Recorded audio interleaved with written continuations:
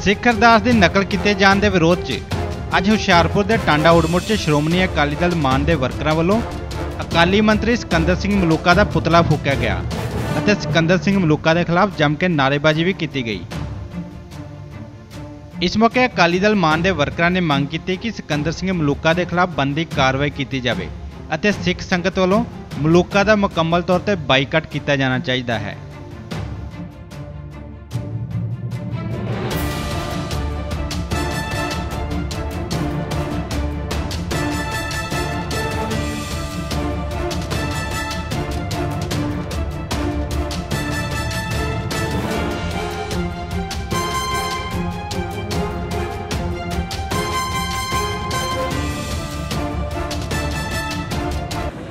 ਸਾਨੂੰ ਦਰਦ ਹੈ ਕੌਮ ਦਾ, ਸਾਨੂੰ ਦਰਦ ਹੈ ਪੰਜਾਬ ਦਾ।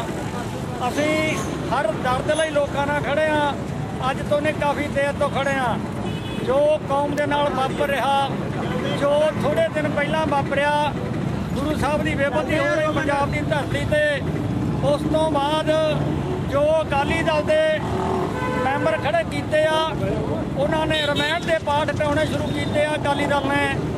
ਅਤੇ ਰਾਜ ਦੀ ਬੇਅਦਬੀ ਜਿਹੜੀ ਮਲੂਕੇ ਚੰਦ ਨੇ ਕੀਤੀ ਆ, ਨੂੰ ਨਾ ਸਹਿਣਯੋਗ ਹੈ। ਅਸੀਂ ਨਾ ਸਹਿਣ ਕਰਾਂਗੇ, ਨਾ ਅਸੀਂ ਇਦਾਂ ਦੀ ਗੱਲ ਇਹਨਾਂ ਲੋਕਾਂ ਨੂੰ ਕਰਨ ਦੇਵਾਂਗੇ ਆਉਣ ਵਾਲਾ ਸਮਾਂ ਜਿਹੜਾ ਇਹਨਾਂ ਲਈ ਬਹੁਤਾ ਮੰਦਭਾਗਾ ਜਿਵੇਂ ਇਹਨਾਂ ਨੇ ਕੌਮ ਦਾ, ਕੌਮ ਨੂੰ ਤਸੀਹੇ ਦੇ ਦੇ ਕੇ ਹਰਾਸ ਕਰ ਦਿੱਤਾ, ਹੁਣ ਕੌਮ ਇਹਨਾਂ ਤੋਂ ਗਿਣ ਗਿਣ ਕੇ ਬਦਲੇ ਲਵੇਗੀ। ਮੈਂ ਸਾਰੇ ਪੰਜਾਬ ਵਾਸੀਆਂ ਨੂੰ ਬੇਨਤੀ ਕਰਦਾ ਕਿ ਆਓ ਇਹਨਾਂ ਡਕੈਤਾਂ ਤੋਂ ਇਹਨਾਂ ਚੋਰਾਂ ਤੋਂ ਪਿੱਛਾ ਛੁਡਾ ਕੇ ਇੱਕ ਇਨਸਾਨੀਅਤ ਸੱਚ ਅਤੇ ਇਨਸਾਫ ਦਾ ਰਾਜ ਕਾਇਮ ਕਰੀਏ। ਵਾਹਿਗੁਰੂ ਜੀ ਕਾ ਖਾਲਸਾ। ਵਾਹਿਗੁਰੂ ਜੀ ਕੀ ਫਤਿਹ। ਸਰਕਾਰੇ ਤੇਰੇ ਹੁਸ਼ਿਆਰਪੁਰ ਤੋਂ ਯੋਗੇਸ਼ ਬਹਿਲ ਦੀ ਰਿਪੋਰਟ ਪੰਜਾਬ ਟੁਡੇ